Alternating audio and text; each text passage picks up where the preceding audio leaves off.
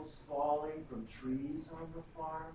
And he came up with a really cool idea we now call what? Gravity. Gravity. And so we'll look at some of those ideas today. I have a question for our adults too.